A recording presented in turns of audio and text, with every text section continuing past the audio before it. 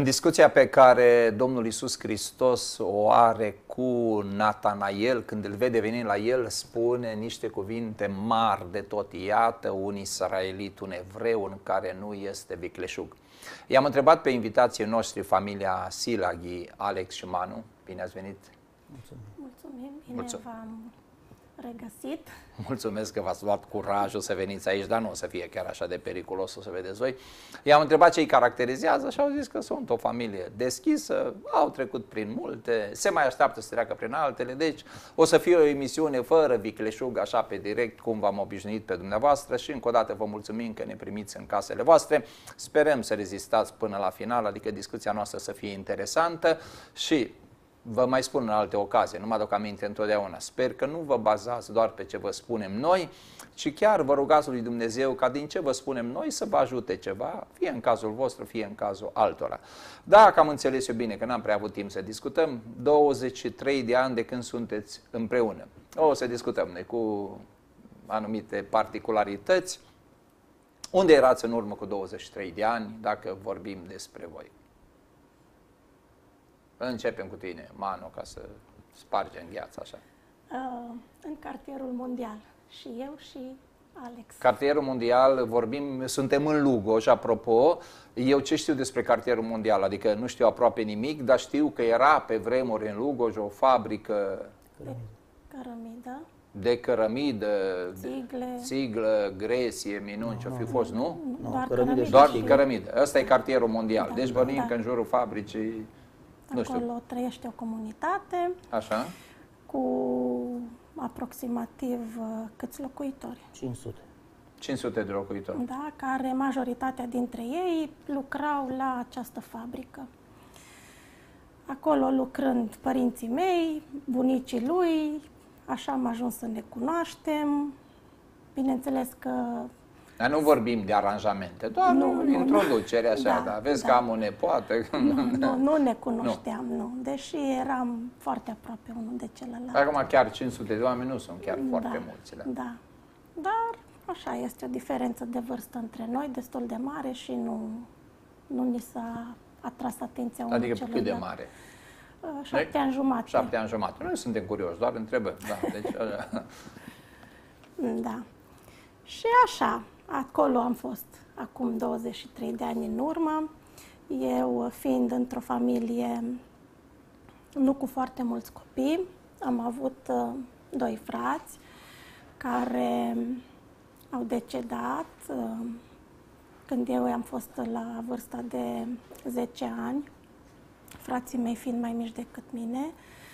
Uh, sora mea a decedat la vârsta de 7 ani într-un accident de mașină, iar la aproximativ 8 luni de zile a, s-a întâmplat un alt accident cu fratele meu și practic în decursul al unui an de zile am rămas singură la părinți. Ce înseamnă asta pentru un copil de 10 ani? Șoc. Șoc? Șoc și trebuie să vă mărturisesc că recent am participat la un serviciu de înmormântare de acolo, o soră din cartier, cu copiii dânsei am crescut și am fost foarte bulversată și răscolită. Încă nu pot să depășesc anumite filme și evenimente de genul acesta. Deci în momentul în care se duce cineva din generația ta sau cineva apropiat, altfel privești lucrurile? Parte din familie. Parte din familie. Acum, ce, ce am observat eu, asta e partea frumoasă ce am observat în Scriptură, că Dumnezeu lasă loc pentru omenescul din noi, lasă loc pentru sentimente, pentru lacrimi, nu lasă loc pentru disperare, ca și cum n-ar mai exista nimic, nu există veșnicie și toate celelalte și cumva ar trebui un echilibru între ceea ce credem, ceea ce știm, dar nu întotdeauna este atât de ușor de obținut cât de ușor îl spunem noi câteodată în predici, dar noi le spunem că noi credem cuvântul lui Dumnezeu, nu înseamnă că și noi le depășim chiar așa de ușor când suntem în situația noastră. Alex, unde erai tu? Tot în cartier. Tot în cartier? Da. Eu fiind crescut de bunici, că n-am avut părinți, maică mea m-a abandonat pe la vreo șase săptămâni, m-a lăsat la spital și a stat cu un bărbat, nu eram copilul lui, dar lui a plăcut de mine și eu zis la părinții lui Te accepta, să mă, da. da, să mă crească ei. Da, și crescând acolo, pe la 17 ani am cunoscut-o pe ea acolo, pe Manuela. Ea fiind în 13 ani, Ah, bun, deci viața e faină, adică. Da. na, și cred cum să, dacă am avut o viață mai dificilă o țară. Am apucat de băut și de cum ei erau bătrâni, ai mei nu aveau control asupra mea. Tu știai că ei nu sunt bunicii tăi. Da, nu Da. știam până la o lim- până de la vreo 15 ani am știut că ei nu sunt De la vreo normal, 15 da. Până m-am întâlnit cu un unchi, adică cu bunicul meu normal, care era, că nu i-am cunoscut nici pe părinți, nici pe surori, că am 3 sau 4 surori, nici nu știu, și pe la vreo 14 ani am cunoscut pe ele. Și ea normal era cum lângă mine în, șc- în clasă și nu știam că e sora mea. Eram Wow. în aceeași școală, la numărul 5. Și acolo în cartier era o fabrică, adică era un depozit din asta de cărbuni aduceau și din așa, lemne și vindeau. Și cum noi eram copii mici, ne duceam acolo și mai duceam acasă, cum eram săraci toți. Căram, ei îi ajutam, încărcam Împrumutați saci, de da, acolo. nu, încărcam saci și ne dădeau, nu furam Ah, sau da, ceva, da, da, ne dădeau bun. eu pentru că munceam pentru el. Și atunci eu la omul la paznicul care era, m-a întrebat că al cui copii sunt ale alea și eu am spus și el fiind știind de numele Silaghi, a bunicilor, și au știut uh, care e situația și eu au zis acasă, lui maică mea, lui... A, pe ea nu l-a interesat. Că, dar el, bunicul ăsta, cum era, era interesat de mine, m-a luat și m-a dus la ei. Și atunci m-a prezentat-o prin geam, că nu m-a sus sus. Ea este soră ta și așa, așa a trăit, nu știu exact na, cum, făcut multe, multe rele până la 7, ce 17 ani, până la 31 de ani, 30 de ani. Și cunoscând-o pe Manuela, că eu foarte Unde mult- erai tu mai rău sau era viața de cartier? Era... Eram și mai rău și viața de cartier și cu bătăi și cu poliție și cu de toate. Am ajuns să intrăm în găști acolo, să ne batem, să furăm, să facem chestii mai care nu sunt Fiecare cu area lui de da, influență. Și, da, acolo era în cartier care erau mai buni, ei erau respectați, adică și la bătaie și la chestii din așa. Și noi căutam lucrurile așa, credeam că e bine. Da, Așa da, un pic ziceam mai și noi. junglă, nu, asta e, Da. da. Așa trăiam noi. Și noi, eu am zis că e o viață normală. M-am angajat pe la 17 ani la fabrica de cărămidă și eu, cunoscând și pe taică el iar era, e tot cu băutura ca mine, beam cu el foarte mult mai. Și, Vă înțelegeați ușor, da. da, Aveați- meream la ei acasă și așa am cunoscut-o pe ea acolo, la ei acasă, meream, mergând. Eram foarte bun prieten cu taică și cu timpul, Prieten de pahar. da, Da, bă, oamenii au avut ceva în comun. După asta eu zic, vezi că am și o fată. Asta a observat el Asta deja. a observat el, nu trebuie să-i spună. Da. Na, și... Așa... Na, cum am spus, cres, crescând așa cum meream în viața asta, care credeam că chiar e foarte bună pentru mine și ajung vreun șmecheraș, că așa credeam că asta- asta e viața noastră și ajungem ceva, cineva. Dar noi nu vedeam mai mult decât era asupra ochilor noștri acolo în Bun, cartier. dar tu ai știut ceva despre el, nu? Nu, eu aveam, așa cum v-a spus el, fiind deja 17 ani, ăștia 2-3 ani au umblat cu tata, 20 de ani, eu am mai crescut, nu am băgat, n-am dat atenție. Eu fiind copilă, cu prietenele, joacă, așa, dar în timpul acesta s-au întâmplat uh, evenimentele acestea nefericite cu frații mei. Și atunci parcă ne-am atașat, adică el venind, susținând părinții mei deja și în treburile casnice, ajuta la lemne, mai aducea... Deci era hărnicuț, așa îi plăcea. Când era treaz și nu sub influența alcoolului. Acum, când ești mai sub răruț, mai... dar a da. fost, da. Mai răruț, dar e bine. Da. Și atunci, pa- practic, devenise ca și membru din familie. Mama a început să-l tot sfătuiască, să spună că nu sunt bune lucrurile pe care el le face, îl tot chema la noi, cu gândul că dacă stă la noi mai mult timp și petrece mai mult timp în casă cu noi și dându-i mai mult de lucru, cumva îl scoate Îl mai din... rupe din da. gașcă și de nu știu unde. Dar n-a fost așa. El ziua stătea la noi, dar noaptea umbla pe unde îi plăcea și venea la noi cum venea. Și atunci... Deci la el și noaptea era zi. Că, Da. Luni și marți a fost zi de odihnă și de miercuri. Luni și marți după weekend. Da. Trebuia să se recupereze după weekend. Weekendul la el începea de miercuri. Hai de mine, știi. Bun, acum ce sunt eu curios, că eu am foarte multe curiozități. Deci tu le-ai știut asta înainte să te măriți. Nu m-am măritat ușor. Am fugit de acasă. Da? Da, mama Ei n-a au fost avut de 13 acord. ani așa, când a fugit cu mine. Cât a avut? 13 ani, Când ai fugit cu el? da, Doamne ferește. da. Da. Mama n-a fost de acord, auzise deja, de fapt, observase ea că s-a produs ceva altceva decât simplă frățietate și a început să pună distanță, să pună limite și nu, nu ne-a mai plăcut.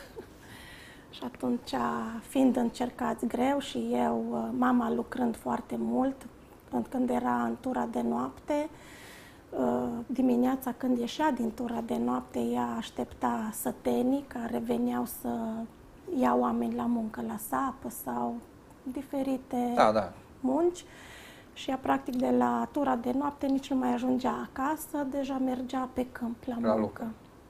Și Unde era atunci- așa de greu, avea nevoie de banii respectivi? Da. Și acum în cartier uh, este o situație foarte A, și, dificilă. și nu, atunci bănuiesc a că tata fost nu era și un mare sprijin dacă... Exact așa cum v-a relatat și Alex, el a băut și el foarte mult și încă se ține de această practică. Și ai încercat, acum pun și eu poate și întrebări absurde sau așa, dar uh, ai încercat vreodată să stai de vorbă cu el, să vezi ce explicație îți dea la toată chestia asta? De ce? Că, nu. Nu, pentru că nu am fost uh, educați în felul acesta. Noi nu am văzut altfel viața decât ce trăiam to- cu toți acolo. Acolo toți așa trăiau, cu datorii, cu ceartă în familie, cu bătaie, cu dormit pe la vecini, cu părinți care beau mai mult sau mai puțin, dar asta era viața normală acolo în cartier și nu mi se părea nimic ieșit din comun. Adică mi se părea că ducem o viață pur și simplu normală ca toți ceilalți. Chiar dacă am făcut școala, primele, adică anii de generală, i-am făcut uh, în oraș cu copii normal, venind din familie, noi totuși am fost așa cumva marginalizați. Și Cei de din- colegi? Nu neapărat Nu de neapărat. colegi, dar de profesor și de la profesor se ducea A, aceasta ăștia de la și- mondial. Da. Era, da. Și atunci deja ne-am grupat, fiecare după nivelul statutului financiar sau așa de familie, în fine. Și nu am avut nici acolo un exemplu să spun că m-am împrietenit cu o prietenă care, cu o fată care provine dintr-o familie bună și pot să văd un alt exemplu. Nu am avut nici eu parte de așa ceva și nici el. Păi eu bănuiesc că atunci că tu când ai hotărât totul să pleci cu el, nu, ai avut niște speranțe că el se va schimba, că e... Da.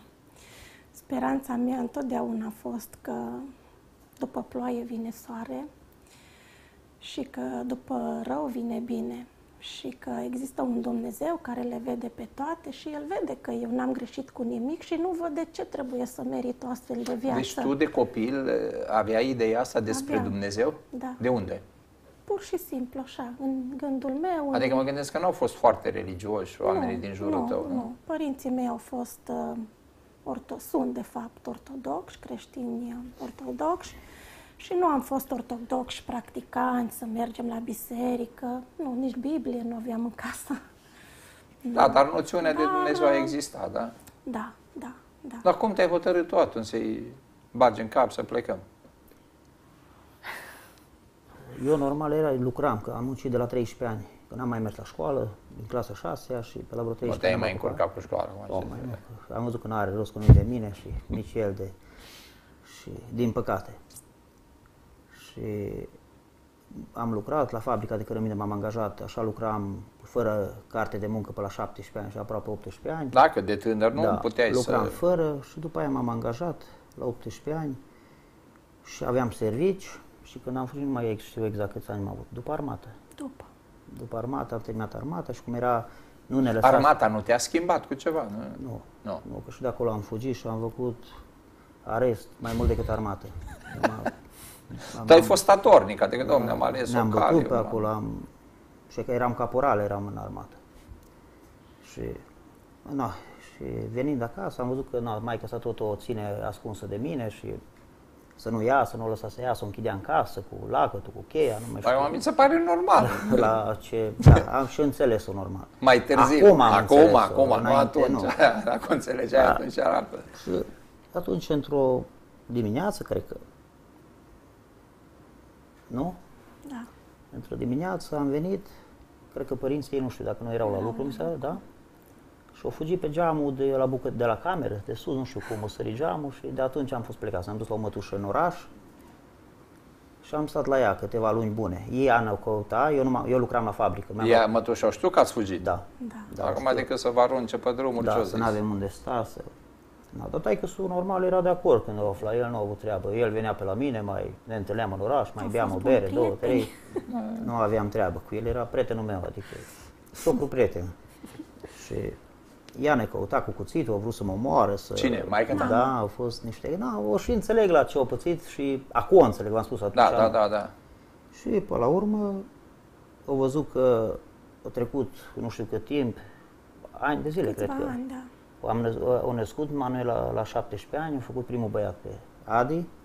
Bun, dar voi nu erați căsătoriți. Eu nu puteai tu la 17 ani Nu, să... când am Am căsătorit. rămas însărcinată și atunci eu tot i-am spus, eu nu pot să dau naștere la un copil fără să fiu căsătorită cu tine, fără să fiu pe numele tău. Eu nu concepeam ideea ca pe certificatul unui copil să apară mama cu un nume și tata cu alt nume. Deci Adică- tu erai și familistă. Așa e pe la ei în casă, bătaie că o altă nume și mai că altă nume are. Și Nu eu sunt nu, căsătoriți. nici acum nu agreez lucrul acesta, nici acum ei nu sunt căsătoriți, părinții mei. Și punând tot felul de presiuni pe el, a zis, na hai, hai, dar eu nefiind majoră, aveam nevoie de consimțământul părinților. Și acum, bineînțeles că pe tata nu mă puteam baza pentru că el oricum nu prea avea acolo mare cuvânt de spus și trebuia cumva să luăm legătura cu mama și ea trebuia să vină să semneze și să fie de acord. Tot așa a fost și când trebuia să-mi fac buletinul. Eu deja fiind fugită cu el, neavând buletin, nu mai mergeam nici la școală, mi-era frică că vine peste mine la școală, am rămas uh, f- cu școala neterminată, generala. Și când am văzut că deja se apropie timpul să-mi fac buletinul și noi încă nu vorbim, suntem certați, ne ascundeam de ea, nu, spuneam că nu se poate așa. Am, ne-am luat inima în dinți și atunci, prin tata, cumva am ajuns la ea și am ajuns la un pact, să zicem așa. Dar tot nu a fost o foarte bună relație între noi. Dar măcar a acceptat Dar ideea, am ai putut plecat. face actele, da. Da. Și așa cum spunea Alex, după ce am rămas însărcinată, uh, trebuia să ne căsătorim pentru că eu am pus presiune și am zis că eu nu pot să dau naștere așa. Atunci am din nou am solicitat uh, ajutorul mamei și astfel uh, ne-am putut căsători în familie, o cununie civilă. Ulterior, după câțiva ani, am făcut și la biserică, dar pe mine m-a interesat să fim cununați. Măcar cu actele în regulă. Da, și așa până, ne-am, până s-a născut fiul nostru. Dar tu ai noi fost de deja- acord? Da, Da, da, de acord, da. Deci voi chiar țineați unul la da, altul. da, țin Da, foarte mult. Da. Dar nu, de schimbat, nu ți-ai prea schimbat Nu. obiceiurile. Nu, am făcut tot așa am trăit, tot cu prieteni, tot cu băutura, tot cu chefuri, tot cu scandal în casă.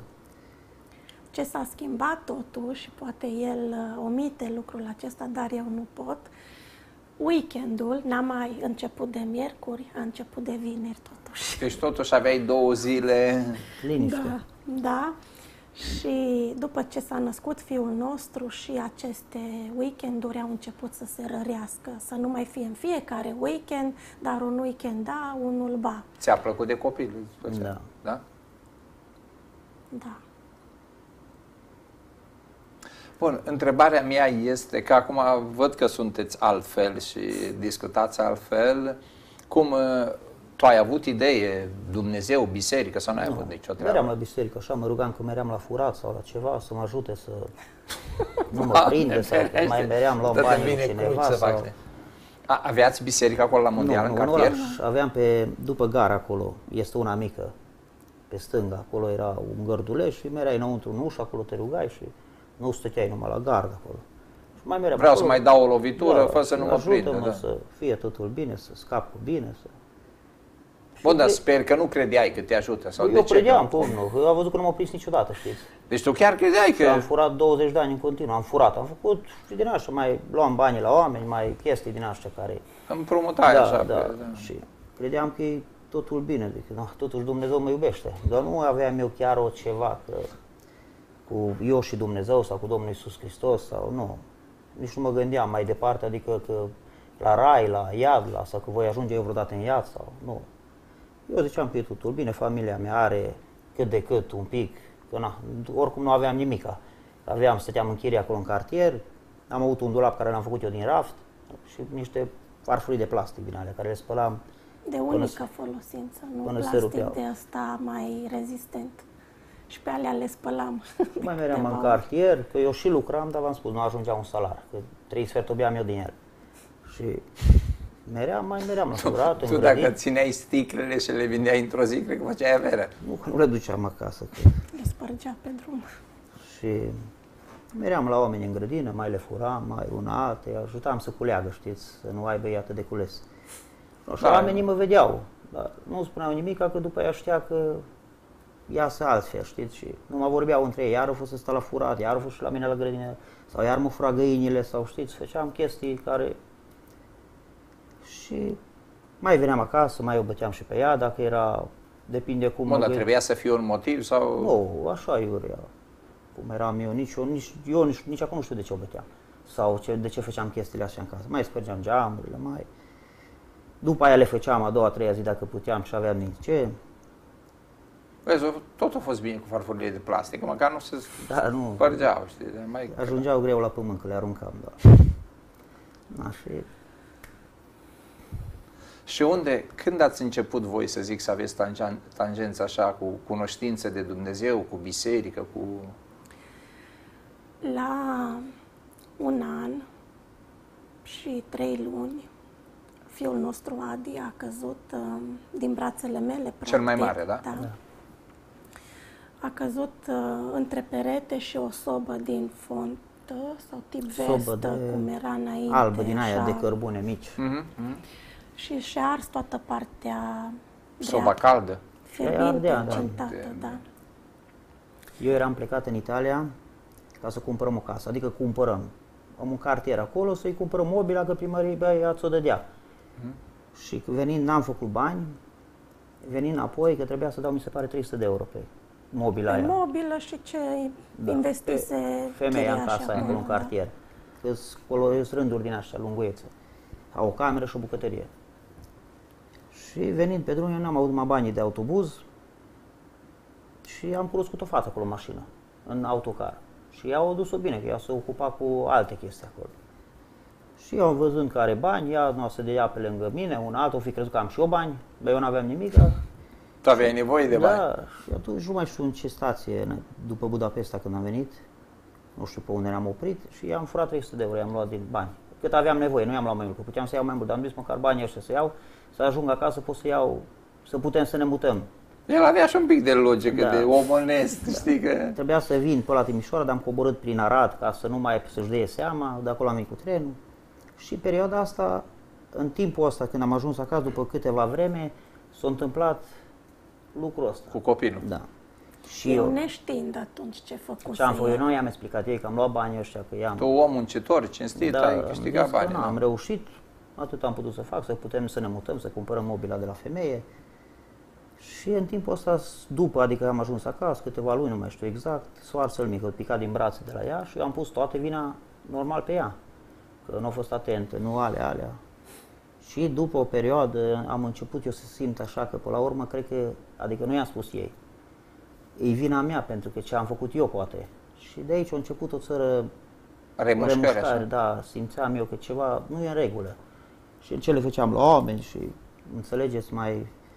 Am început să avem niște bani, am făcut eu niște afaceri, niște hârtii false pe acolo, pe la, eu știu, când era niște fieri vechi pe la noi acolo, vindeau și bonuri și, și mai dădeam la oameni împrumut bani acolo.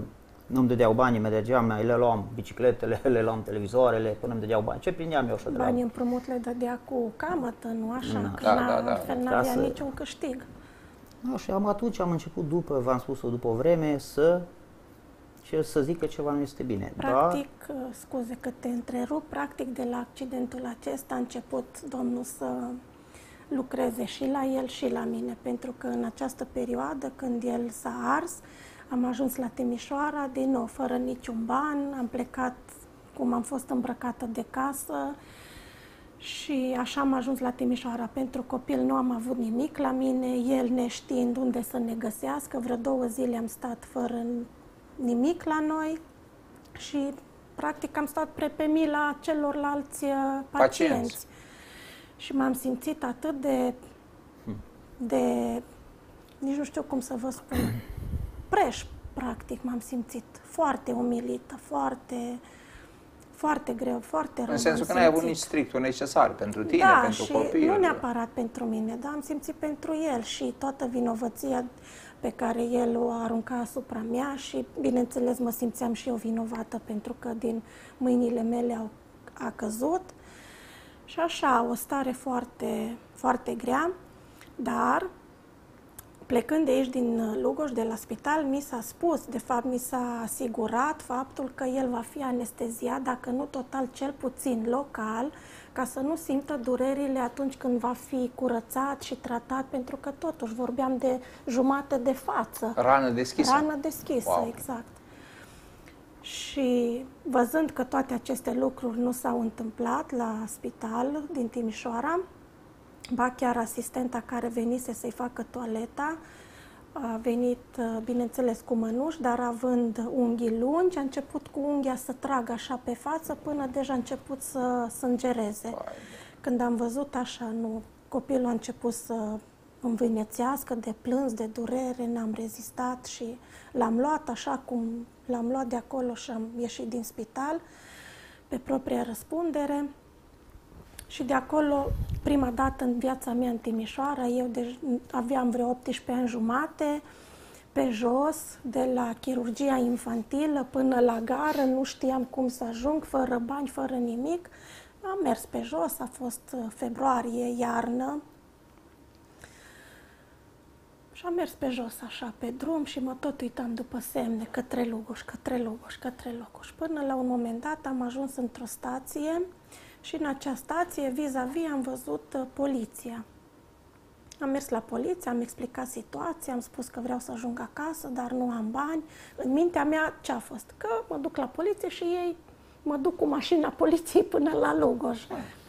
Dar nu, n-a fost așa. Ei m-au trimis din nou în stație să mă duc, uh, să mă duc în gară și să iau de acolo trenul. Și am spus, păi nu am bani, cum să plătesc autobuzul, cum să plătesc biletul de tren. Bun, dar nu au putut să zic că te duci în femeie până la gară cu copilul nu, mic. Dar bănuiesc că tot asta a făcut parte din planul lui Dumnezeu, pentru că într-un final am ajuns în stație, la, în gară și trebuia să caut poliția TF la îndrumarea polițistului și să spun că domnul polițist cu tare mi-a dat și numele, m-a trimis la ei și să mă pună în trenul respectiv să ajung în Lugoș uh, în siguranță. Acum eu ajunsesem în gară, dar nu găseam poliția TF. Și am întrebat pe acolo unde găsesc poliția TF și nu, niciunul zicea, a, s-a mutat. Bănuiesc că e transport unde. feroviar, cine știe TF, transport. Da, da. Poliția da, de la... Da, acolo, da. da. A, că s-a mutat, că nu mai există aici de ceva timp și Deja mă panicasem, nu știam cum să ajung, se făcea seară, copilul lui era foame, nu aveam nimic la mine, începea să plângă, nici apă nu aveam. Vă menționez că el avea un an și vreo trei luni deja, trei sfert de zi am petrecut-o pe drum. Și fiind foarte așa supărată și necăjită, am zis, Doamne, dar ce am făcut? Și m-am uitat așa în sus să merit toate astea. Și deasupra capului văd poliția TF. Am strigat către Dumnezeu și Dumnezeu mi-a lăsat poliția TF. Și de acolo am rămas cu chestia că Dumnezeu vede și ajută și intervine la momentul potrivit. Tocmai în această perioadă a început să lucreze și la inima lui Alex și să-i dea tot felul de remușcări în subconștientul lui și de aici pot să spun că a început călătoria noastră cu Dumnezeu și pe parcurs a început să se intensifice până când din nou am ajuns ca și familie într-un impas foarte mare. Noi eram pe punctul de a divorța. deja avusesem și pe al doilea băiat. Uh, motive fiind multe și vina mea și vina lui, dar după o ceartă foarte aprigă, într-o zi de sâmbătă, a venit cumnata mea la noi și văzând că noi suntem foarte supărați, foarte nervoși, foarte certați, a zis, hai, da, cu mine la pocăiți. Eu când am auzit de pocăiți, m-au luat și mai tare nervii și am spus, ce să caut acolo, ce să fac acolo, să mă lase în pace, că nu-mi trebuie mie așa ceva, că nu... Și da, dar măcar uite, te mai liniștești, mai lasă, nu mai stai lângă el, că e nervos. Și în mintea mea a venit un gând, gândul că așa mă pot răzbuna pe el, știind că el nu suportă pocăiții. și am zis, gata, asta e răzbunarea mea, mă duc la pocăiți. Fiind peste drum, deschisă recent uh, o biserică? bisericuța, da, pe care tocmai fratele Gabriel Olariu cu fratele dânsului Gigel Olariu au uh, deschis acolo. Pâinea vieții. Sau? Pâinea vieții, Pâinea vieții, exact. M-am dus cu gândul că așa mă răzbun pe el, pentru că lui nu-i plac pocăiții și eu acolo mă duc. Bineînțeles că n-am ajuns acolo. Nici ea nu putea sta liniștită, știi acum, nu? nu am ascultat eu predică sau mesaj sau absolut. Gândul meu era tot la el și la ale noastre. Am plecat de acolo, venind acasă. Nu Dar cum nata, sora lui, mergea acolo? Nu, nu ea stătea în oraș. Nu avea nicio legătură. Și ce treabă au să te invite la Da, o merge ea cu tine?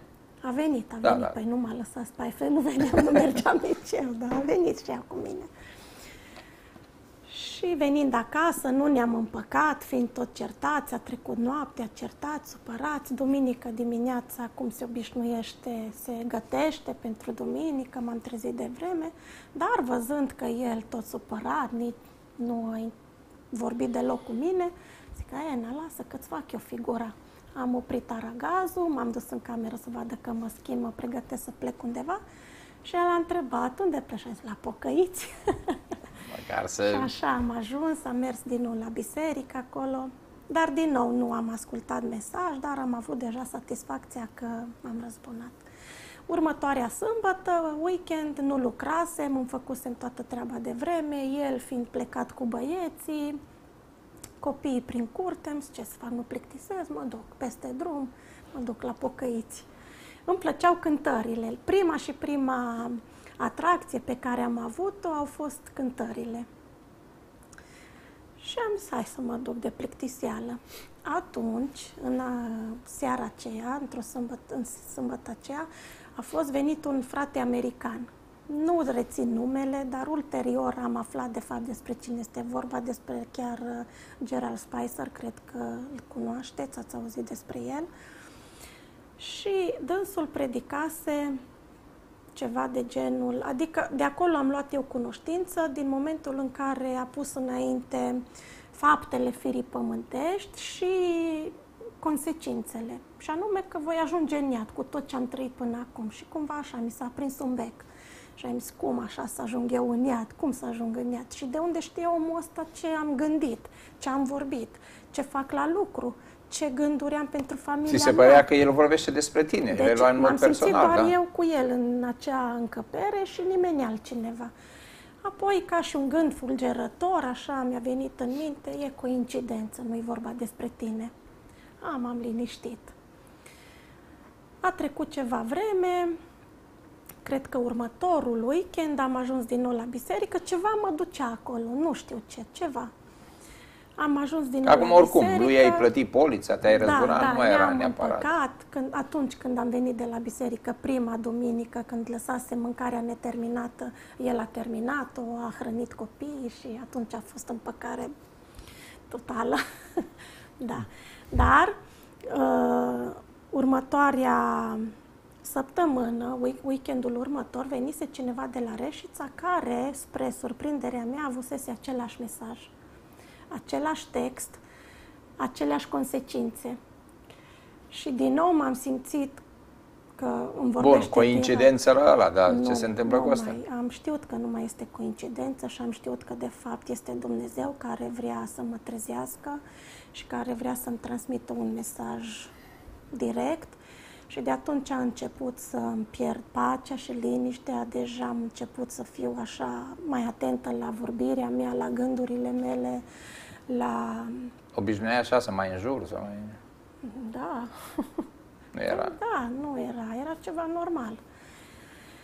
Și am început deja să văd altfel lucrurile. De atunci am început să merg constant la biserică și deja am fost gata să las orice lucru neterminat doar ca să fiu la biserică.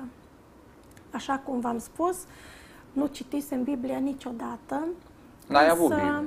Însă, în anii de când am plecat de la mama și până în momentul acela, Alex făcuse rost de o Biblie, Vechiul și Noul Testament. N-ai, n-ai furat-o? Nu, nu mai știu de la cine l-am primit. Dar el făcuse acea Biblie, uh, făcuse rost de acea Biblie doar pentru jurăminte și promisiuni. Da. Între Aia noi juram doi. noi, între noi doi, când ne Să certam, că promitem la bine, că nu mai beau, nu mai credincioșie, fac. Da, și așa. Și apoi m-am gândit că, de fapt, Biblia asta poate fi folosită nu doar când jurăm și promitem ceva, ci pot deja să o iau și la biserică. Am luat-o la biserică în seara aceea și țin minte că nu am deschis-o, nu am citit nimic din ea. Și după ce am început să merg constant, constant, un bătrânel din uh, biserică a observat că eu vin constant acolo și mi-a pus să citesc din Biblie, la programul de închinare și așa. Și am spus că eu nu citesc pentru că vorbisem în șoaptă, așa, unul lângă altul. Am zis, nu citesc pentru că n-am citit niciodată din Biblie și nu știu ce să citesc, de unde să... Nu contează unde deschis. Am zis că nu, mi-e rușine, nu pot, nu așa. Și tot insista. Mama, fratelui Gabi, stând cu două rânduri în fața mea, s-a întors la mine și a spus Hai măi, fată, odată citește. Când Mai am venit." hotărât, așa, Da, când am văzut că toată biserica stă și așteaptă după mine, pentru că a fost așa, câțiva, câți Puțini, metri dar nu erau pătrați, foarte da, mulți, da. un loc foarte mic. A fost biert acolo înainte. Birt? Biert, biert. A, și ei au S-a cumpărat. făcut bis, da, au luat-o de la fratele renovat, Florin da. și eu făcut Și am zis, hai să citesc de rușine, deja am citit văzând că toată lumea așteaptă. Și am deschis uh, la pasajul din Exod, unde Moise a fost pus în coș și cum a ajuns la, cas, la fata lui Faraon și luat pasajul acela. L-am citit foarte repede, nu știu cum l-am citit, dar nu a rămas așa, pentru că după ce s-a terminat biserica, de când am ieșit de pe ușa bisericii, noi trăiam chiar peste drum, vis-a-vis, un timp de mers de două minute, nici atât, de traversat drumul. Ei, în acest interval de timp, un minut, jumate, două minute, Dumnezeu a adus în mintea mea și a asociat viața mea cu viața lui Moise, de când a fost pus în coș până a ajuns la fata lui Faraon. Și așa cum Dumnezeu mi-a adus așa în minte și mi-a descoperit că cu Moise a fost pus în coș și purtat pe râul Nilului în tot felul de primejde și pericole, așa ai fost tu purtată în uh, viața acestei lumi. Deci, practic, tu cu toate emoțiile ai reținut ce ai citit. Da. Firul istoriei a rămas. Da.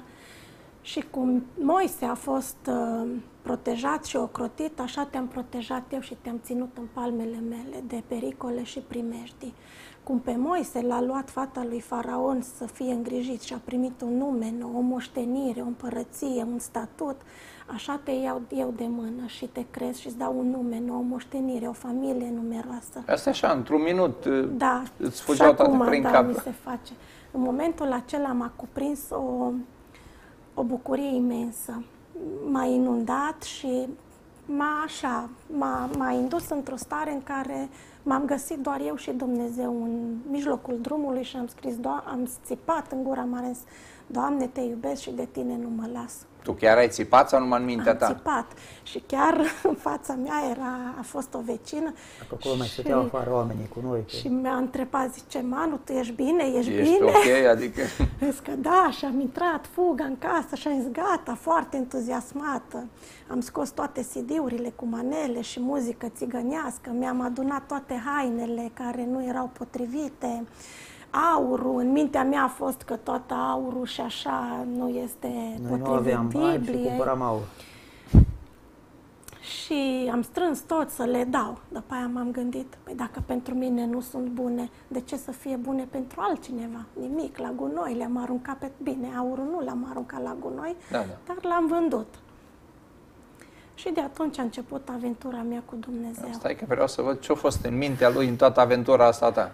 Nu, eu am fost foarte supărat că nu a terminat atunci dimineața, că eu seara cum am chefuit, am văzut-o că dimineața se pregătea și și-a oprit și a vrut să plece și a spus, unde mergi? Mă duc la biserică. Adică mă duc și a spus, nu te duci până nu termin mâncarea. Ba, mă duc. No, eu până mi-am revenit din pac, cum eram o țără tulburat, Ea s-a dus. o plecă mai ieșit în bucătărie, nu mai era. N-ai avut pe cine opri. Ce să mai, nu mai, eu trecut și n-am mai trecut eu drumul, că de obicei eu mă duc, când mă duc undeva, pe eu nu mă opresc. Și nu m-am mai dus, am terminat eu cei pe acolo, copiii le-am dat, că eu tot, na, totuși eram cu, cu fa- așa, familiar așa cu copiile, nu-mi plăcea Da, da. să le... Și i-am spus când au venit acasă, au văzut că copiii au fost ale ale, au început ea să mai vorbească mai una altă mai frumos, mai să lingușitor. Și eu i-am spus, n-am treabă, pot să merg la biserică, dar niciodată să nu spui eu să mă duc sau copiii să meargă sau tu te duci, ei treaba ta, să-ți faci treaba în casă, nu mă interesează. Tu îți faci treaba ta cu biserica și eu fac cum am trăit eu. Ale mele, că da. Și n-am avut nimic împotrivă. Țin minte că în ziua când am venit foarte entuziasmată de la biserică, i-am spus că, știind că el nu este de acord cu, cu pocăiții, i-am spus că dacă tu nu ești de acord cu hotărârea mea, eu sunt gata să și divorțez de tine, dar de Domnul nu mă mai las. Și afirmația asta așa pentru el a fost uh, foarte... Adică până atunci mă țineam ca scaiul de el și atunci am fost gata așa, foarte ușor să renunț. Și-o dat seama că s-a întâmplat ceva. Cum mi-am dat să prima i-am mai spus, mă, să spăra creierii pe acolo sau și eu cum vorbeam, Da, da, da. nu că nu m-a spus la nimeni, eu mai, nu mai știu exact ce m-a spus ea după aia. Și i-a spus, faci ce vrei, ți-am spus, eu cu ale mele, tu cu ale tale. Și așa am trăit multă vreme. Adică fiecare pe drumul lui, între noi.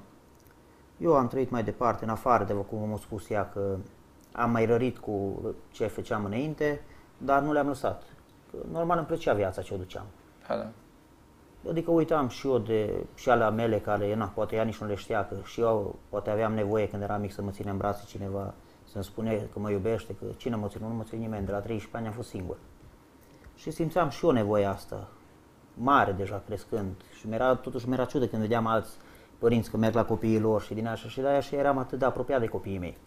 Ca să le ofer eu dragostea ce nu aveam Ce eu n-ai în mine. avut-o, și da. nu exista să nu le spun că iubesc când ne trezim sau pentru mine și acum când sunt mare, are 18 ani el mare face. Frumos. da. Și, și acum le spunem și ei ne spun și... Na, dar uh, tot n-am lăsat. uh, Adică influența mea era... e, Asta era viața mea în cartierul ăla. Să fiu cineva, adică în cartier să fiu cineva. Mai meream și noi în discoteci, în oraș, acolo eram, că na, vin mondialiști, că ne cunoștea tot Lugojul pe la urmă. Că noi eram cu hoția, cu bătăile, cu alea, cu mai multe cartiere și ne știa lumea acolo în cartier, nu de buni. Ce eram noi. Dar într-o zi când ea a venit de la biserică, eu, nu știu dacă ea mai cred că știe, am băut pe, adică eram cu băieții afară și consumam acolo, vis-a-vis și tot îmi spunea, mă, păi tu lași pe nevastă te la pocăiți, că cine A, știe ceva că e băieții, înăuntru, da. No, eu cum eram cam șeful lor la câțiva acolo, șeful, prieteni și mă ascultau ei pe Liberul. mine, da.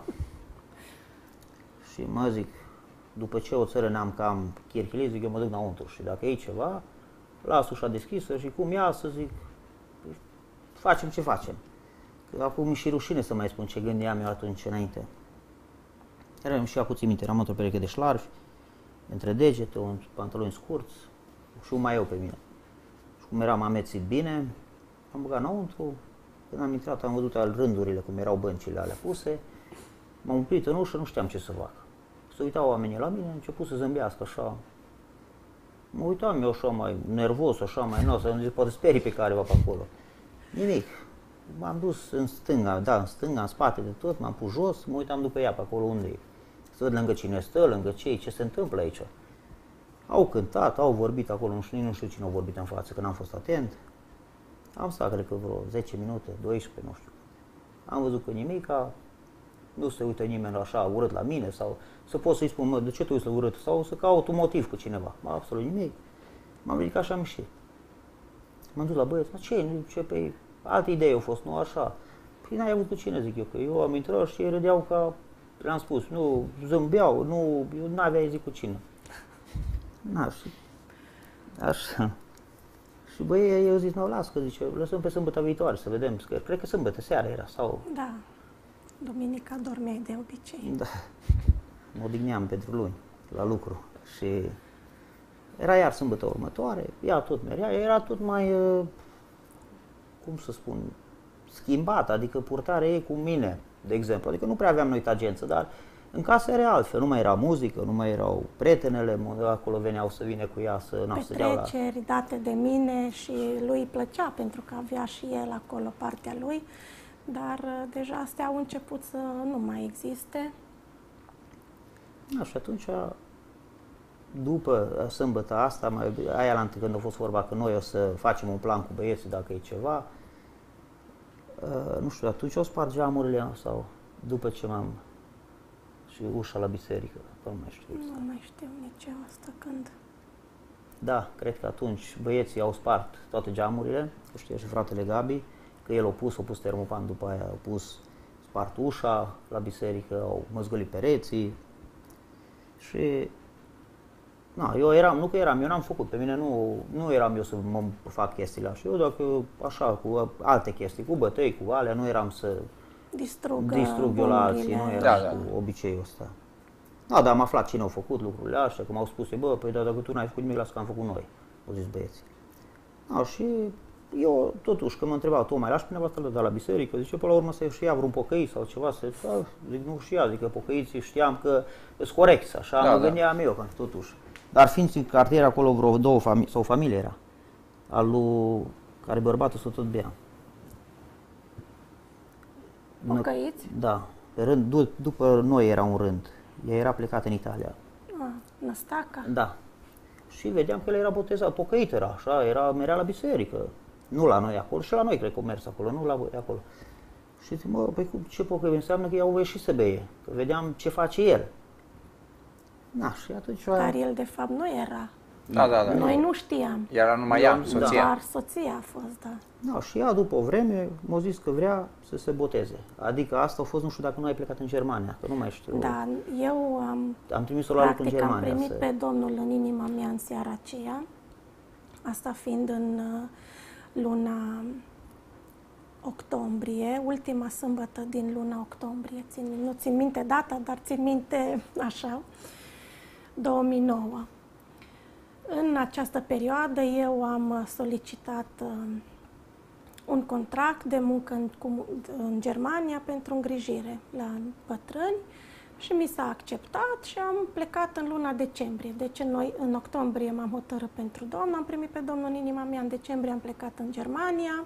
Și tu rămâneai cu copii? Da, rămâneam acasă, trimitea banii acasă, nu mai lucram. Acum erau trei copii? Doi, doi, doi, doi. doi da. Și am plecat.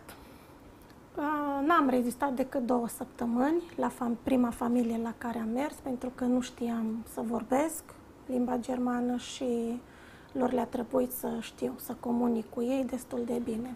Dar, pentru că eu am hotărât să mă botez, am cerut de la fratele păstor uh, uh, curs de catecheză pe care să-l parcurg acolo în Germania. Parcurgând acest curs de, curs de catecheză și trecând prin toate cerințele și trimiterile biblice, am ajuns la uh, darurile spirituale și la uh, darurile Duhului Sfânt. Și acolo, fiind în Germania și aveam mare nevoie să cunosc, uh, să învăț limba germană, am cerut Domnului așa cu foarte mare așa nevoie ca să mă învețe. Și deschisă, da. Da, că asta era cea mai mare nevoie a mea la moment. Să mă învețe limba germană și cred, credeți-mă că în două săptămâni de zile am învățat limba germană, nu perfect, dar în așa stadiu încât am putut să le spun despre cum trăiam noi, familie, cum am întors la Dumnezeu, ce s-a întâmplat, cum mi-a vorbit Domnul și de ce m-am, m-am pocăit. Eu le-am spus că sunt pocăită și de ce m-am pocăit. Și ei, asta deja fiind cu trei sau patru zile înainte ca eu să plec. Și bătrânii, când deja au văzut că pot să vorbesc destul de bine și așa, au prins drag de mine și n-au mai vrut să mă lase să plec, dar copiii bătrânilor deja făcuse toate demersurile și așa mai departe. Trecuse sărbătorile de iarnă și în ianuarie am plecat din nou la altă familie, nu? Și aici am stat uh, doi ani de zile. Doi sau trei? Doi. Doi. La fiecare trei luni aveam dreptul la o lună concediu de stat acasă.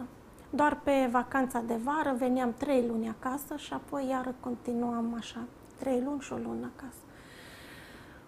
Învățați-mi deja foarte bine limba germană și ei și ei știau că sunt pocăită, dar deja Domnul îmi vorbise că în mai multe feluri și chiar am uh, notat aici, de fapt nu am notat, am, uh, mi-am lăsat semn în uh, Ezechiel. Țin minte că mi-a vorbit prima dată și nu am luat în considerare, pentru că asta e mintea mea, cine știe dorințele mele. Eu de fiecare dată mă despărțeam greu de ei, de copii și am spus că mi-e greu să fac lucrul acesta, dar este nevoie și nu se poate altfel. Și ce fiul omului, tu locuiești în mijlocul unei case de îndărătnici care au ochi să vadă și nu văd, urechi de auzit și n-aud, căci sunt o casă de răzvrătiți. Și aici Domnul a făcut referire la casa mea din cartier, la familia mea din cartier, la toți locuitorii din cartier, pentru că noi acolo ne considerăm cu toții ca o familie. De aceea, pregătește-ți lucrurile de călătorie și pleacă ziua sub ochii lor. Pleacă în fața lor din locul în care ești și du-te. Și am înțeles că Domnul vrea să merg acasă, să rămân acasă, pentru că are nevoie de mine. Dar totodată, la nivelul minții, venea și gândul că astea gândirile mele și așa mai departe. Timpul a trecut, Domnul îmi vorbise când, mai vorbea când într-un fel, când într-altul, dar tot nu am dat crezare. Până la un moment dat am venit acasă în ultimul an, deja în uh, vacanța de vară, am stat trei luni, apoi am venit și când am venit, după trei luni am venit uh, de sărbători, atunci am făcut uh, actele ca să veniți și voi de Paști. Dacă să Familia a vrut să plecăm și noi acolo tot. Și să ne stabilim acolo. A spus că îi găsește lui de lucru, copiilor le găsise școală. de școală, de grădi. Și deja nouă ne plăcea viața mai bună, ieșim din sărăcie, ieșim din greutăți, totuși vorbim despre Germania, pentru noi era ceva wow. Plus că nu trebuia să plătim cazare, să stăm acolo, aveam apartamentul nostru la subsolul casei lor, complet mobilat, utilat. Suna foarte... Nu mai trebuia 300 de... Suna foarte bine și foarte frumos, dar pe lângă toate astea, Domnul spunea că să vin acasă, la copiii aceștia, în familia tatălui meu și așa mai departe. Am plecat, am făcut demersurile să plec înapoi, după ce am făcut toate actele pentru el, procură, pașapoarte la copii și așa mai departe. Și cu duminica trebuia să plec și vineri am mers la biserică și am zis că dacă tot mergem la biserică să văd despre ce se va studia. Așa, să iau înainte puțin cu textul biblic. Și acolo Domnul mi-a vorbit uh, într-un alt mod. Și mi-a zis așa, dacă nu vei asculta de glasul Domnului Dumnezeului tău și dacă vei zice, nu vrem să rămânem în țara aceasta, ci vom merge în țara Egiptului, unde nu vom vedea nici război, nici nu vom auzi glasul trâmbiței și nici nu vom duce lipsă de pâine și acolo vom locui. Și apoi urmează că atunci să ascultați rămășițe, așa vorbește Domnul, dacă vei îndrepta fața să mergi în Egipt și dacă vei, te vei duce să locuiești pentru o vreme acolo, pentru că gândul nostru așa a fost. Și atunci urmează și apoi urmează pedepse. așa, da, sabia, ciuma și foametea te va ajunge și acolo. Și am înțeles că sabia, de fapt, ce Despărțire de Dumnezeu, moarte. Ciuma este boală, foametea, lipsuri și neajunsuri. Și am zis că nu vreau să trec prin așa ceva. În fine, dar dacă uh, vei rămâne și vei asculta, îți voi da trecere și îți voi da, îți voi da înaintare și propășire, izbândă și așa. Zice, nu vă duceți în Egipt, băgați bine de seamă lucrul acesta, vă opresc lucrul acesta astăzi. Asta fiind vineri și eu deja duminica aveam uh, transporturi să plec. Eu m-am speriat foarte tare pentru că atunci am înțeles clar că este uh, voia lui Dumnezeu ca eu să rămân acasă și să nu mă duc acolo. Alex s-a supărat foarte tare pentru că el nu era, prea le avea cu... Da, și el se gândea doar la viitorul familiei noastre din punct de vedere financiar și la un statut mai bun uh, în societate. Dar eu puneam foarte mare preț pe relația mea cu Dumnezeu și să trăiesc în potrivit cu voia Încă nu erai botezată. Încă nu am Încă fost nu. botezată aici, da. Și, sau am fost deja botezată? În 2010 n-am botezat, mi da. se pare. În vacant, în, când am venit în alea trei luni Așa, de în vacanță, vacanța mare, da. Da, atunci vacanța m-am mare. botezat, da. Dar Ai fost de acord să se boteze? No, stați așa că a fost... până uh, aici ai partea mea, urmează Să partea vede filmul lui, dacă noi da. filmăm cu mai multe camere. Ea am zis că se botează, am zis foarte bine, n-aveam nimic împotrivă. Deja am început și eu să merg așa din când în când cu ea, la biserică, să mai... Mai meream mai mult de, na, să fie totul ok în familie, nu meream eu că aveam eu atracție ceva de biserică sau de cineva. Și mergând așa la biserică, am început să și ajut pe acolo, să mai fac curat, să mai, așa, Să întrețină. se întrețin Da, da, da. așa la biserica veche. Și ea au zis că se botează, nu mai știu în ce dată trebuia să fie botezul, cred că prin iunie, iulie. Nu În mai știu. iunie. Vara. Da. Da, Da. trebuia să fie botezul. Și ea, nu mai știu, erai plecată și nu au vrut să dea drumul acasă? Da. Sau?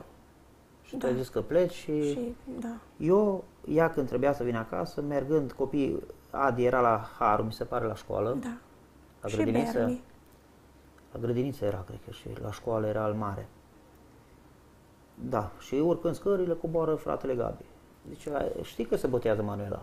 Da, că ea deja se implica, așa, Da, era- da, da. Ei plăcea, chiar îi plăcea ce făcea. Nu vedeam eu ce rost, ce... Alții mai spuneau că nu, merge la biserică să-i ajute americani, mai vorbeau acolo cum era Mai vorba oameni, în oamenii, studiat. știi Da. cum, da. Dar nu ne spuneau în față, vorbeau așa între ei. Și eu ascult, e treaba ei, zic eu. Și înainte cu o duminică sau două am fost la Haru, că mai meream și acolo din când în când cu ea când era acasă. Că îmi plăcea că era multă lume, Da, acolo da. era și ne stăiam pe balcon acolo sus și ne uitam în jos. Era frumos așa să... Mi-a plăcea să văd pe acolo. Să... Scena, Și spectacol. era o, asta, o predică despre David. Când uh, David uh, o, o, o, s-a culcat cu... O păcătuit o păcătuit, atunci cu- da. Da, și eu trăiam în păcate, făceam Batseba, prostii și da. alea, alea, da. Și prin pedeapsă eu luat copilul. Și era cum eram cu copiii, cu alea, începeam să mă gândesc. Ți că s-a aprins aici ceva. Eu trăiesc toate lucrurile astea, murdare și multe, multe chestii, zic. Și până la urmă Dumnezeu poate să-mi iei vreun copil sau...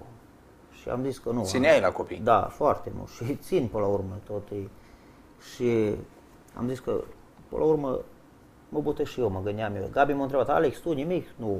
Și aveam la fabrică, inginera era pocăită, era Gabi, au venit la fabrică la Da, da, noi, da. la Cărămida, acolo, au preluat ei fabrica.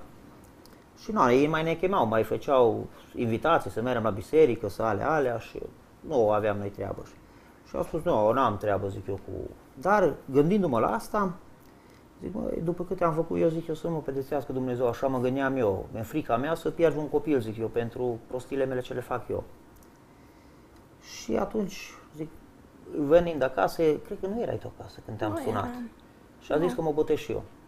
Păi cum, că așa, pe ea ce ai simțit? Zic, nimic. Și asta fiind deja cu vreo două săptămâni înainte de botez. Da, da, aproape tot. Și eu am întrebat, ai simțit și eu, "A, nu, dar zic, de frica asta, de zic eu, și eu zic, și până la urmă, dacă Dumnezeu chiar mă vrea, zic, mă ține, dacă nu, zic, uite și pe omul ăla, zic, ăla abia e pocăit și nu a murit, nu nimic și are, deja are 70 de ani, zic eu, dacă nu l-a El omorât tot cu Dumnezeu, omul zic eu. ăsta El tot scotea. avea- La mine era omul ăsta, era un exemplu, cum tu, pocăit și ai voie să faci și, și nu, nici nu Bun pățești exemplu nimic. și contradicție în Da, minte, și știi zic, că- nici nu pățește nimic, adică atunci ce, dacă chiar nu mă vrea, mă lasă după o vreme sau eu știu. Îți iau numărul 2, ăla e numărul 1. Da, și mă gândeam că, zic, hai că fac și eu pasul ăsta, zic eu. Nu că simțeam că, nu știu, eu chiar n-am, aș minți Da. să spun că am ajuns, a venit ea acasă să ne botezăm. Am umblat, mi se pare, la catecheză la Haru, că la noi nu era baptistieră încă, mi se, nu? Da, da. La tine a fost așa mai fulger, mai Da, așa, dintr-o dată, pentru, eu am simțit, v-am pe spus, viteză, da. am simțit o Teama aia, da, și pentru teamă copii. și am văzut și lucrul ăsta, adică zic că el până la urmă era un exemplu pentru noi, da, era în Biblie. Gândeam eu ca să, na, uite ce-o pățit el, de ce să pățesc și eu așa ca el dacă a făcut chestia asta. Și atunci am fost de acord să mă botez și eu cu ea, adică nu forța sau ceva de nimeni, Da, da, nici da. nu spunea nimeni, în afară de Ga- fratele Gabi m-a întrebat odată, nu, tu nu te botești, și am zis că când cubram scările ne-am întâlnit la școală, că meream după copii și am zis că nu în momentul ăla. Dar i-am spus ei acasă, gândindu-mă așa, mergând la afară cu copiii, atunci m-a venit dintr-o dată așa, am spus, nu că frică, așa, o, na, totuși o, un gând care Da, da, da, o era frământare, periculos până da. la urmă, pentru mine. Da, și atunci am venit acasă, i-am spus lui Manuela că și eu vreau să mă botez cu tine când vii tu, mergem la catecheză. Am început să umblu la biserică mai des, din mondial a început și ei să vină de la mine, că na, cu eu cum eram cu ei liderul lor, a pus să se, mai multe lume să vină la Băieții din biserică, cartier, da. da. Și atunci când am mondial cât? Șase. Era Cristina, voie, Morico, Nu, Marius. Marico nu cu noi odată. Vreo Nici șase, șapte, Da, da, da, Marius, da. da, eram care umblau cu noi, lucrau cu mine la asta și s-au botezat și ei. Atunci ne-am botezat toți împreună în... uh, Dar uh, după ce m-am botezat, nu că mă părul rău că m-am botezat. Uh, Eram așa pentru că mi-era greu dintr-o dată să și nu mai aveam voie aia, nu mai aveam voie aia, simțeam eu o piedică așa. Eu mie mai plăcea să știți să... Nu eram eu lăsat de tot. Am mai început eu să-mi iau câte o bere din ala cu... Nu, cu lămâie din ala, nu mai știu cum erau. fără alcool. Da, nu că era fără, că erau cu ceva, cred că el mai... știi? Da, mai îndulcite, Da, da. mai luam fără să știe ea, mai le duceam în cămară jos, Da. mai la lemne acolo, mai meream, mai căpam lemne, mai băgam două, trei tuburi și tot așa, dar și într-o zi, îl mic, Salmare a zis, tata, pe dacă tu ești pocăit, tu n-ai voie să bei din alea. Adică, și m-am simțit, s-au venit o femeie la noi atunci, mi se pare. Nu știu asta. Dar știu că de Berni, Berni sau Ade, au zis și după aia a venit și o femeie, au zis de la biserică, nu Leti, nu mai știu, au venit la noi și au zis că despre o predică și care au mărturisit că până la urmă tot bere au fost ce au și eu, știu- eu parcă mie îmi spune, pentru că eu făceam chestiile astea, știți? Eu, le, eu luam câte 10 tuburi, 12 și le ascundeam jos, acolo în cămară. Și a spus, tata, dacă tu, el mă vedea al mic, tata, nu-i bine, zic eu. Zice, Ori, ori, da, da. zice, dar eu așa știu, pocăiții nu beau, adică dacă Lasă, tata, că n-are nimic ca lucrul ăsta, adică cât eu tu, din asta mică, adică nu-mi face mie rău. Dar m-am obișnuit că el în barcă nu mai puteam, fără nici fără tuburile alea, fără, nu era fără alcool, era mai fără Mai slab. da, da. Și, dar uh, am uitat să spun la început, când am hotărât să mă pocăiesc, am am mai îmbătat odată foarte tare, când am uitat ca și l-am trezit pe Adi. Asta a fost cu... Atunci am simțit că Dumnezeu chiar mă cheamă. Am venit acasă, nu știu pe ce, m-am bătut și m-a luat poliția și m-a dus la poliție și m-a ținut către dimineața, Până 1, dimineața, 2, da. și după aia m-a dat drumul, i-a dat și lui ea drumul cu care n-am ca să nu ne întâlnim mai devreme. Și atât de tulburat am venit acasă că n-am putut să-mi fac chiar ce am vrut eu. Și l-am trezit, l-am avut pe Adi, pe Elmane. Asta nu o să uit în viața mea, era într-o... Adică Avea aveam... vreo trei ani atunci. Da, eram într-o... Ele avea un fotoliu, unul dormeam într-un pat că și deschideam aia. și l-am trezit pe el și i-am spus, fără nici, până la urmă eu niciodată n-am spus de Dumnezeu, că eu nu aveam așa nicio legătură și nicio treabă n-am avut ca să pronunț eu numele Lui. Niciodată să nu crezi în Dumnezeu, să nu te rogi la El, să... Și am început să vorbesc foarte urât așa, parcă nu știu. Că am rămas eu și am văzut filmul și copilul se uita așa la mine și făcea așa cu capul tot timpul. Parcă și acum văd, îl văd pe el cum stătea în picioare, așa cum îl țineam de mănuțe. Și eu îi spuneam și atunci am început eu ceva să simt, nu știu, că și normal ce am avut eu atunci în momentul ăla să... Eu Te m-am răzbuni gândit, pe da, Dumnezeu, da. M-am gândit că cel rău deja simțea că Dumnezeu vrea să facă o schimbare în viața noastră sau să ne întoarcă, să... Da, și de acolo am început eu deja să, să, să mă întorc. Și am ajuns aici cu berile, cu astea, pentru că nu le lăsam, că v-am spus că îmi plăcea, dar le făceam pe ascunse. Și am auzit o predică, iar după aia, că s-a dus un copil, tot la Har, am ajuns, cred că la Haru, că noi mai meream la, și la alte biserici, că s-a dus cu taică s-o la furat la porumb și el, tatăl să-i spunea, uite, eu încarc, fur, ăsta îi bag în sac și tu te uiți în dreapta, în stânga. Și el mic eu zis să sus, nu te uiți că te vede. Și am rămas și cu asta, că eu mă uitam să nu mă vadă Manuela, să nu mă vadă lumea din mondial, că știau că ce am fost eu și dintr-o dată sunt un om bun. Știți? Și de exemplu, de fapt, eu nu eram chiar bun, că mai meream jos și consumam acolo. Și atunci mi-am dat seama că nu-i bine lucrurile așa, că Dumnezeu pe la urmă te poate, de ce să, adică să suferi. Că pe la urmă tot am ajuns să sufer de niște boli care, după ce o plecat ea, care nici nu am gândit că vreodată să fie. Aici poți să spui tu mai departe, că eu sunt mai... După ce Domnul mi-a vorbit așa, lucrurile au fost deja aranjate să plec, dar am vrut să primim și părerea sau consimțământul fratelui păstor și am mers la uh, fratele păstor uh, de la Haru, da, Teofil Ciortus. Teofil, da. Și am spus, i-am îndetaliat toate lucrurile și am zis că ce de făcut. Eu înțeleg că nu este voia lui Dumnezeu să plec acum, dar uh, nu știu ce să fac. Și fratele păstor a spus așa, zice, situația voastră financiară este în mâna ta. Tu dacă rămâi acum acasă, o lună de zile până, până îți găsești de lucru și tu și el, până lucrați, până primiți salar, cu ce vă descurcați? Plus că deja avusesem datorii mari, dar, zice tu, dacă te duci, încet, încet îți achizi datoriile și în timpul ăsta își caută și el de lucru și te gândești și tu la un servici și vii acasă și vii la ceva sigur. Și așa am făcut, cu toate că știam că nu este bine. Am ajuns în Germania, n-am avut nicio liniște, nicio pace, am ajuns în depresie. Imediat cum am ajuns în Germania, am primit uh, telefon de la Alex că mașina s-a stricat și costă 500 de euro să o reparăm. După, după vreo săptămână, el s-a îmbolnăvit de plămâni, a început, trebuia să se interneze, dar pentru că nu avea cine sta cu copiii, nu putea să meargă să interneze.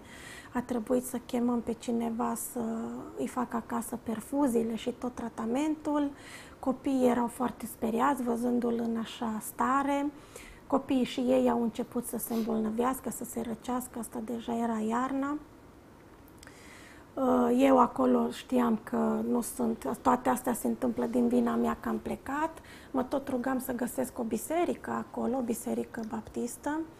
Și Domnul așa a găsit cu cale și a făcut ca să găsesc și chiar una foarte aproape de mine, chiar la subsolul uh, apartamentului unde locuia nepoata bătrânei la care lucram. Am ajuns acolo și acolo era o biserică de ruși, dar mi se traducea în cască în limba germană. Și ce credeți că s-a predicat? Despre neascultarea lui Iona. Iona trebuie să fugă. Da. Și așa m-am simțit și eu, ca și Iona, că Domnul m-a vrut acolo și eu am luat tot cu tot o altă direcție și cum Ion a ajuns în burta peștelui și a stat trei zile și trei nopți și nu i-a fost bine acolo, am zis că de ce să ajung să tot ajung să împlinesc planul lui Dumnezeu. Dar Numai un pic ce, mai greu, da. Da, de ce să ajung prin suferințe sau, Doamne fer, să se întâmple ceva cu copiii și să ajung forțată de Dumnezeu acasă. Vreau să ajung prin ascultare și de bunăvoie și nu forțată de El. Și atunci țin minte că m-am prăbușit așa pe genunchi și am plâns în hohote și mi-am cerut iertare și la sfârșitul uh, serviciului o soră s-a ridicat și a avusese o poezie. Și poezia aceea țin minte, atât țin minte, că Dumnezeu are răbdare, îndelungă răbdare, dar nu veșnică răbdare. Și gata, atunci am venit acasă, am vorbit cu Alex, el s-a supărat, nu prea înțeles, a zis că ce, acum dau cu piciorul la tot viitorul nostru, că nu mă gândesc la copii, că așa. Am zis, eu nu mai pot să stau, nu mi-e bine, nu ți-e bine, nu ne este bine tuturor. Domnul plinește cuvântul lui, tot aminteam, el știa tot ce Domnul vorbea, pentru că spunea, da. discutam da. cu el, da, și el știa astea, și am zis că asta nu se poate așa, astea nu sunt gândurile mele. La urma urmei e cuvântul lui Dumnezeu, este scris în Biblie. Și am luat hotărârea, chiar dacă el nu a fost de acord, am vorbit cu bătrâni, cu copiii bătrânei și am spus că eu nu mai pot să vin. Le-am explicat și lor de ce să nu creadă am zis că sunt nebună, că așa ceva nu există, că unde am mai văzut noi că Dumnezeu să vorbească, că nu există așa ceva, ei fiind uh, creștini după Evanghelie. I-am să în fine, eu nu mai pot să stau, îmi termin uh, nu șase luni, cât aveam făcut contractul atunci, trei luni stau, da, dar atunci trebuie tu să cauți pe cineva, am căutat pe cineva, a venit cineva în locul meu, dar bătrâna se atașase atât de mult de mine încât ea spunea, tu dacă pleci, eu o să mor, eu nu mai vreau să trăiesc fără tine. Și tot îi spuneam, lasă oma că nu mori, lasă că o să fie bine, noi o să vorbim la telefon și așa mai departe. Credeți-mă că într-o săptămână de zile ea a murit. În ziua când am plecat eu de acolo, ea a murit. Hmm. Și n-am mai fost nevoie. Și nu pot să spun că o am pe conștiință, pentru că la urma urmei ea a fost bolnavă, avea 80 și ceva de ani și avea și ea depresie și așa mai departe. Dar uh, îi făcusem și o promisiune când m-am dus la ea și ne plimbam, că eu voi sta la ea și voi avea grijă de ea până când uh, va muri. Și pentru mine asta chiar a fost așa împlinirea promisiunii. Da. Și am venit acasă și am trebuia să începem o viață nouă, un na, altfel. Viața noastră de familie fiind bazată pe toate cele din trecut, pe faptele firii pământești, noi deja trebuia să ne formăm o altă familie, o familie din punct de vedere biblic și din perspectiva lui Dumnezeu. Și asta foarte greu, pentru că educația lipsea, uh, dragostea lipsea care nu a fost transmisă de părinți și de altcineva. Și trebuia să învățăm toate lucrurile acestea. Dumnezeu uh, a început să împlinească promisiunea Lui că îmi va da trecere și El se va îngriji de toate nevoile noastre. A pus lângă noi uh, tot felul de oameni uh, cu inimă mare, cu dorință de a ajuta și cu dragoste față de noi și mulțumesc Domnului că El este credincios cuvântului sau și niciodată nu ne-a lăsat. Din câte văd eu, se pare că încă n-ați murit de foame, nu? Ați ajuns pe drumuri și Dumnezeu chiar s-a ținut de cuvânt. Cei care ne urmăresc știu că unul din lucrurile tare neplăcute pentru mine este să opresc o istorie înainte de a se termina. Am încercat să lungim emisiunea, deci de data asta v-am lăsat, dar e foarte greu să spui o viață, o istorie în câteva minute. Da. Dar eu cred că ce ați auzit din partea celor doi și încă n-ați auzit tot, încă o dată ne-a adus aminte că Dumnezeu este prezent. Că nu vorbim de un Dumnezeu care s-a izolat undeva acolo pe tronul lui și se bucură de închinarea care o aduc sfinții și îngerii și toți ceilalți și a uitat aici de noi sau că ne-ar aștepta acolo dacă vom răzbi prin problemele vieții. Dragostea Domnului Isus Hristos eh, a fost arătată la cruce, dar n-a rămas doar acolo la cruce. Când Duhul Sfânt a venit, a venit să locuiască cu noi, să locuiască în noi, prezența lui Dumnezeu este vizibilă în fiecare aspect al vieții noastre, dacă avem ochi să vedem, dacă avem urechi pentru glasul lui Dumnezeu și chiar dacă unii cred că Dumnezeu nu se implică, noi știm că Dumnezeu se implică și avem mărturiile noastre. Și familia Siriac este o mărturie că bunătatea lui Dumnezeu încă nu s-a sfârșit și că Domnul este bun cu ei și este bun cu copiilor.